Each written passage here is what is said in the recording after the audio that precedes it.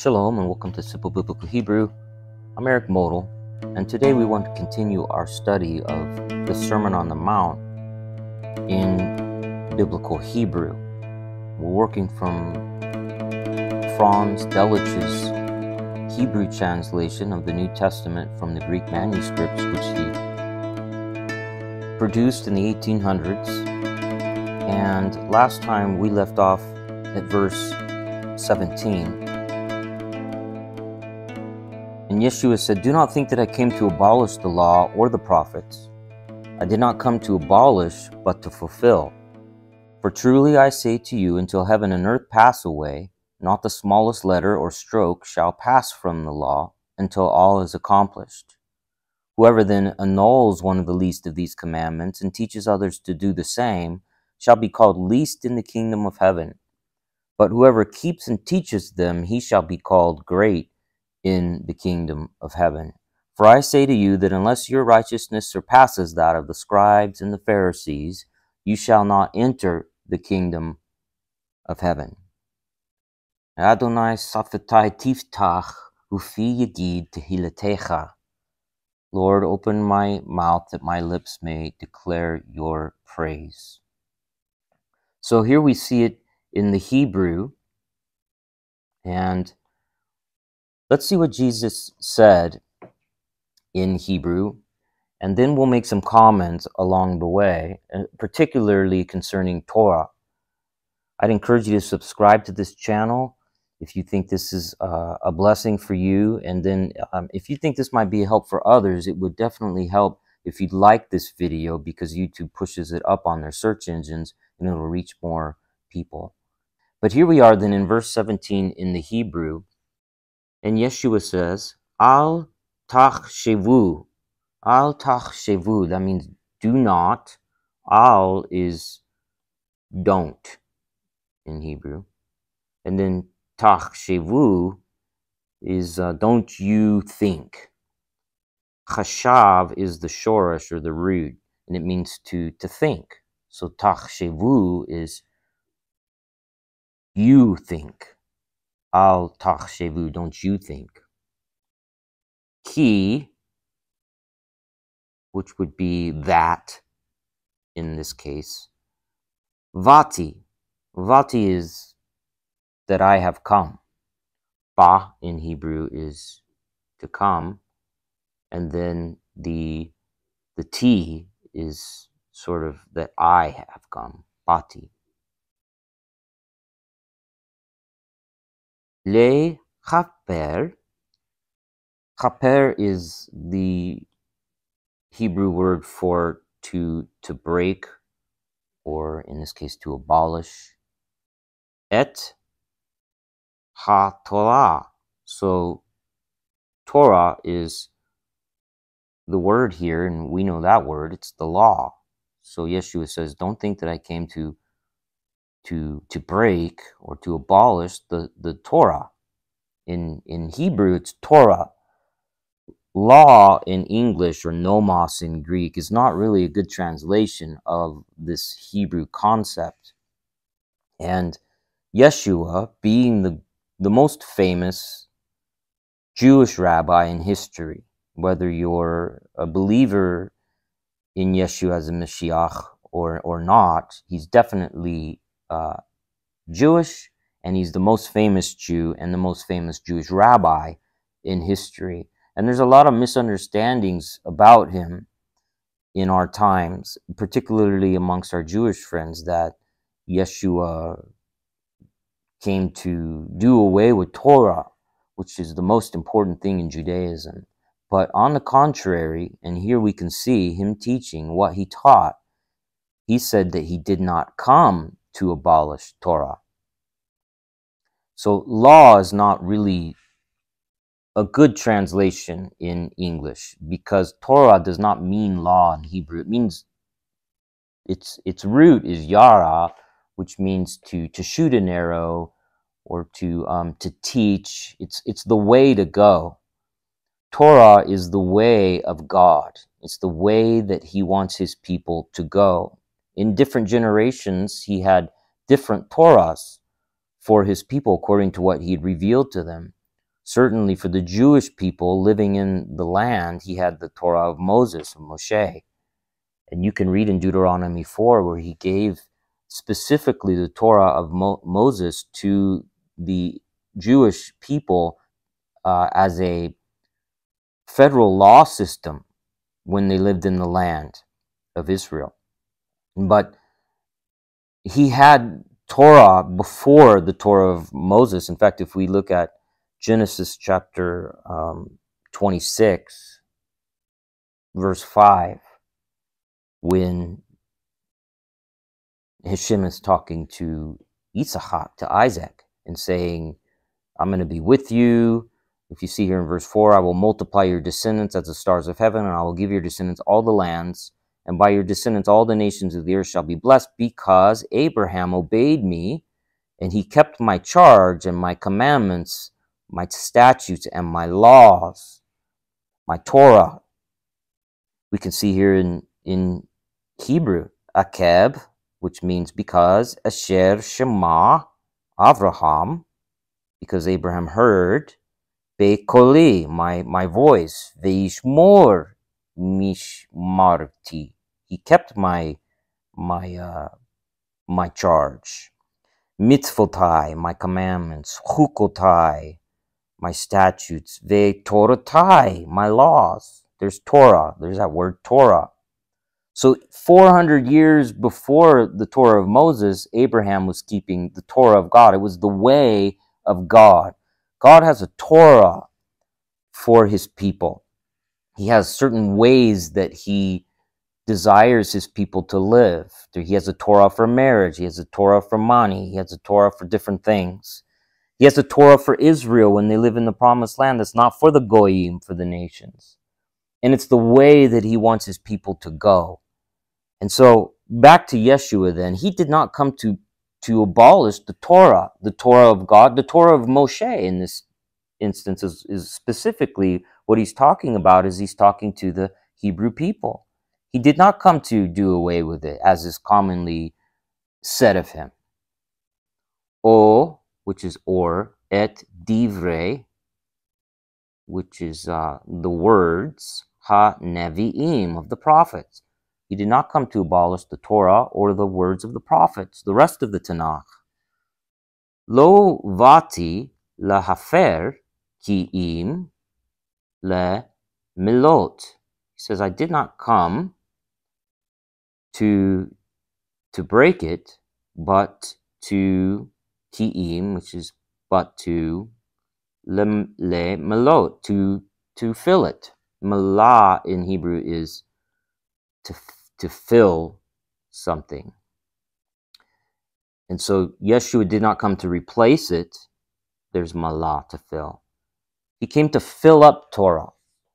I preached on this message recently uh, at our church in San Diego, and I will try to remember to put that message in the description below if you'd like to hear me comment on this more. But Yeshua fills up Torah, and he's going to tell us how he fills up Torah. He does not take away from it, but he fills it up. He completes it he walks in the way of God. So Torah is the way of God. It's the way that he wants his people to live. It's not legalism, but it's the way he points for us to go. And that way can't be done away with. But ultimately, it leads us to Mashiach, leads us to Yeshua. But for now, Yeshua did not come to, to do away with it, to abolish it, but to fill up Torah key for Amen. Amen in, in English. For I say to you truly, ki Amen, truly Omer, I say, Ani lachem, Ani is sort of me or I, lachem is to you, Ad or until ki ya avru, until passes. Av, aber in Hebrew means to sort of to pass over. So ya avru hashemayim that's the heavens. Shemaim is heavens, so Hashemaim is the heavens. Ve haaretz, that's the earth. Aretz is earth. So va or ve, ha is and the aretz. Lo avor, which is will not pass away. Yod, achat. So achat is one, and this is the letter Yod, the smallest letter in the Hebrew alphabet. So Yeshua says, "Now, not until heaven and earth pass away will will will even a Yod pass away from Torah, the smallest letter in the Hebrew alphabet. O, which is or, kotz. And kotz is a thorn in Hebrew.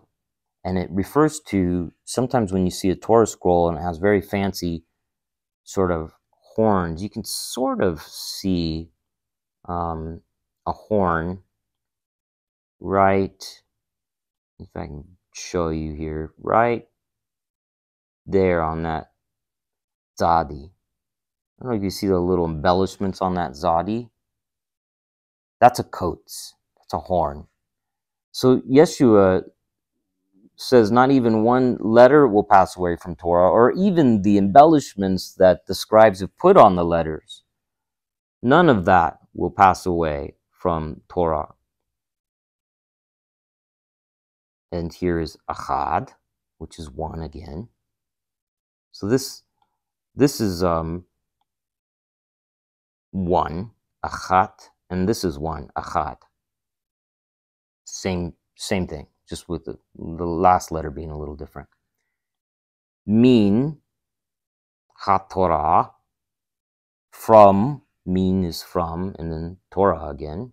There's min, from, ha-Torah, the Torah, ad asher, until ya'ase hakal, until all is accomplished. So asher is sort of until ya'ase, which is ya'as in Hebrew is to do. And so in this case, it's until everything is done. Hakal is sort of everything. And ad is until.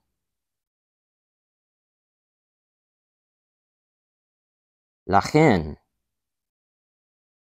which is therefore, me which is who, asher, whoever yafer breaks, achat, which is one, mean hamitzvot, whoever breaks one mitzvot, which is a commandment, ha ketanot, which even the smallest mitzvot, katan in Hebrew, small,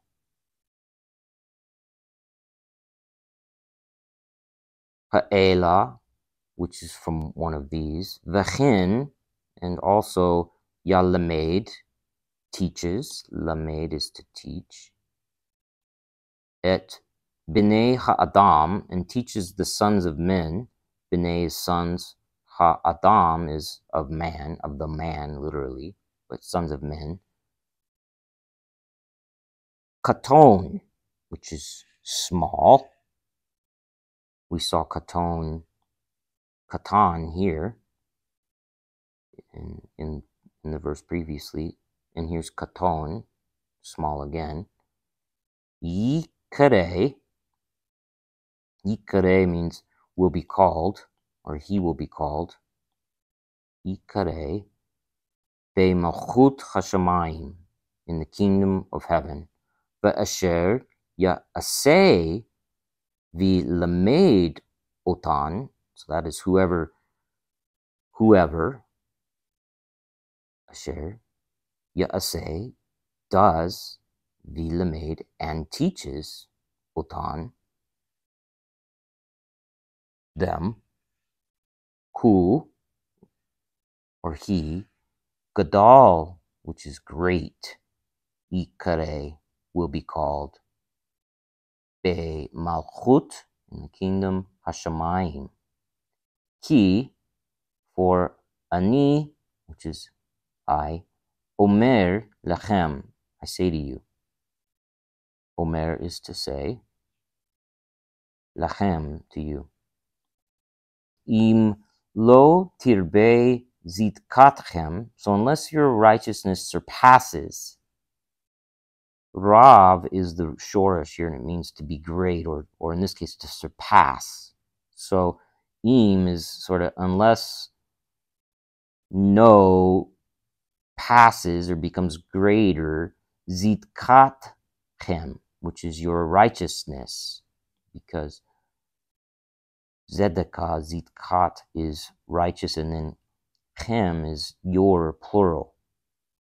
Zitkatchem, mi zitkat, which is also the, the righteousness, ha so farim, which is the scribes, book in Hebrews, saper, and you can see the root right there. So that's scribes, those who write the books, sofarim, they, and ha parushim, the Pharisees.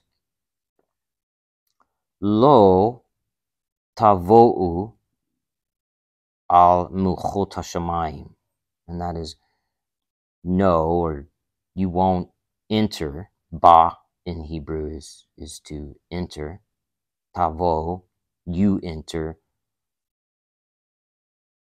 Al milchot hashamayim, you won't enter into the kingdom of heaven, or something like that. So Jesus is not saying that necessarily the scribes and the Pharisees were bad, but they had come into a system in first century AD of Judaism where just doing religious things was enough to please God, is what the, the scribes and the Pharisees were teaching the people at the time.